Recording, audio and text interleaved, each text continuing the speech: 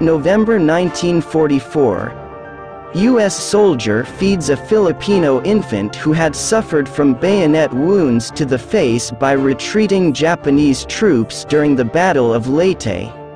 Leyte Island, Philippines.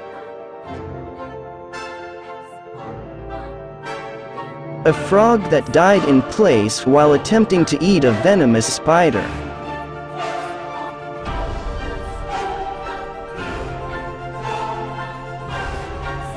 Wasp nest that grew around floodlights. On a garage.